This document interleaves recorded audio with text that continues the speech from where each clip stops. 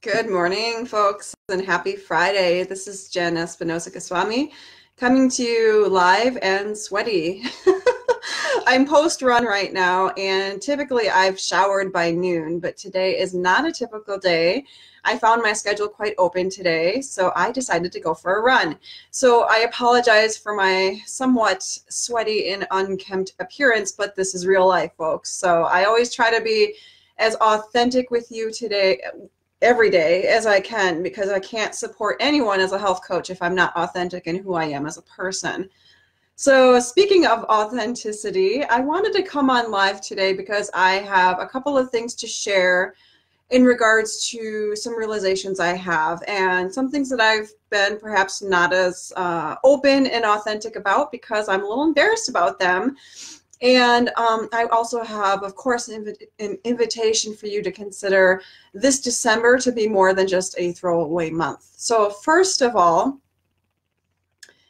this this live is titled uh, "What What You Know versus What You Do."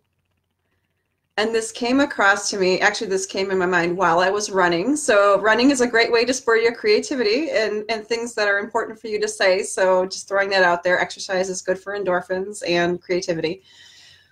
But one of the things that i personally have been struggling with and this is really embarrassing for me to admit because i'm a health coach but I was at the doctor's office yesterday doing my annual exam with my lady doctor, and unfortunately, when I stepped on the scale in the middle of the afternoon, which is not a time I typically step on a scale, so I wasn't mentally prepared for it. And most of the time, you know, my weight is just information.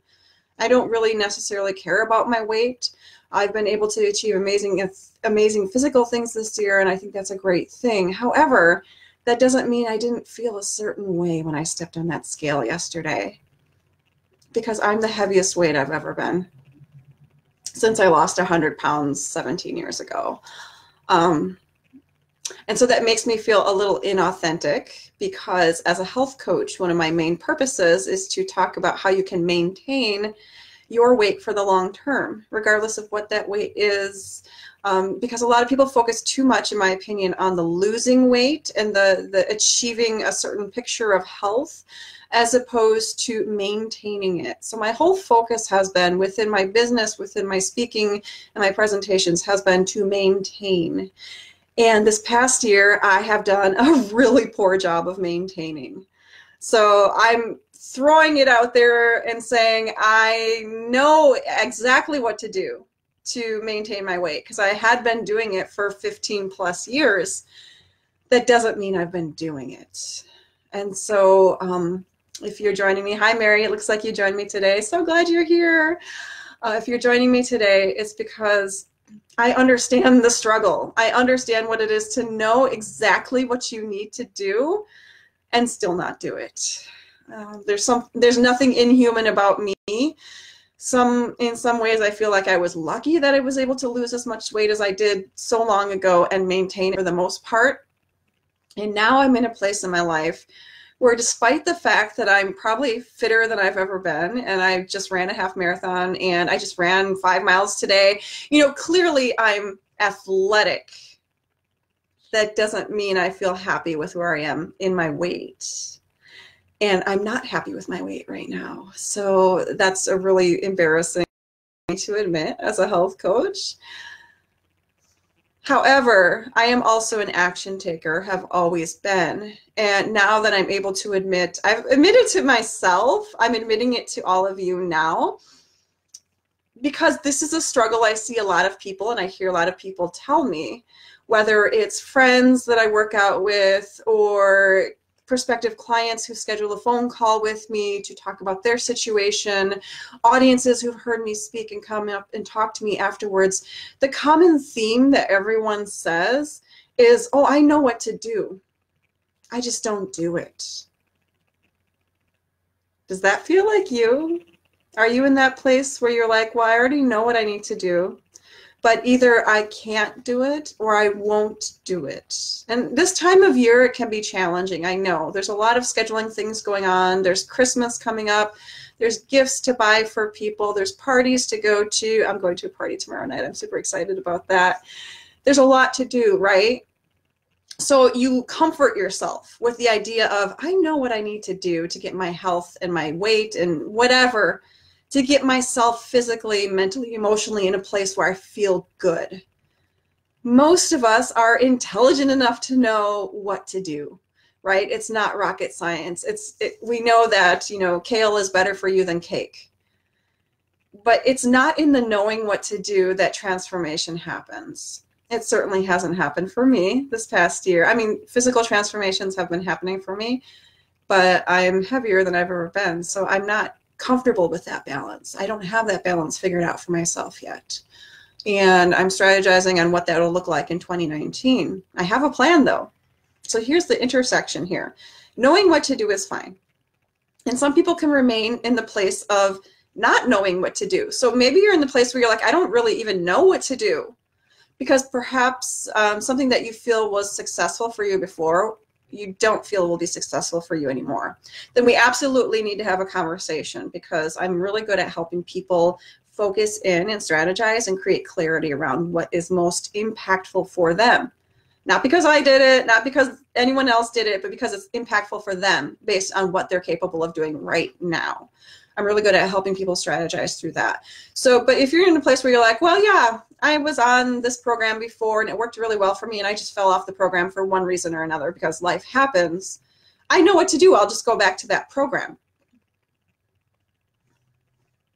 So, a lot of people say, yeah, I know what to do and I also know when to do it. And most people this time of year, they're like, I'm going to wait till January. January 1st, New Year's resolutions, I'm going to hit it hard. I'm going to do this year what I never did last year or the year before or the year before, you know, whatever year you want to insert into that equation. Most people have a really good idea of what they need to do and when they need to do it. And for some of us, that could be a deadline. Maybe it's New Year's resolutions, but maybe there's a beach vacation coming up, or maybe there's a special family event coming up, or something.